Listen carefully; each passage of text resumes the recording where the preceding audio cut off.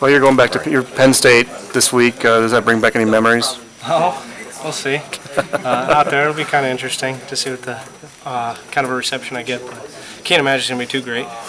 But it'll be fun. How about today? Uh, two field goals, one kind of uh, the 40 yarder kind of salted things away.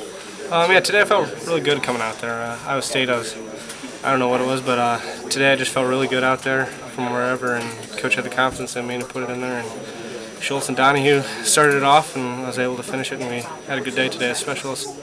What do you think about them? Just as you know, they've circled this game ever since last year, going into Penn State. I mean, that uh, the whole team, reception-wise, is probably going to have to hit the field running.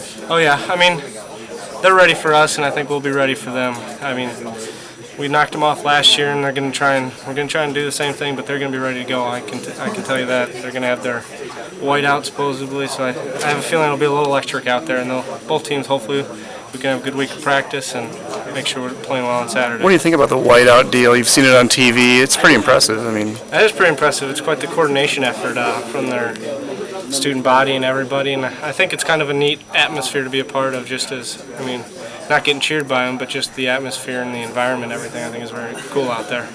How much of that guy's shoe did you get on that kickoff return tackle? Uh, enough to get him down, I guess. I turned around and I saw he was still stumbling around, so I wasn't sure if I got him all the way, but then I saw he fell down, so got enough of him. That's all that matters. Do you think he would have scored if you hadn't been there? Uh, probably if I wouldn't have gotten anything on him. I think my objective is to either tackle him or at least slow him down where somebody can get him. This is like the second time for you. Didn't you have a save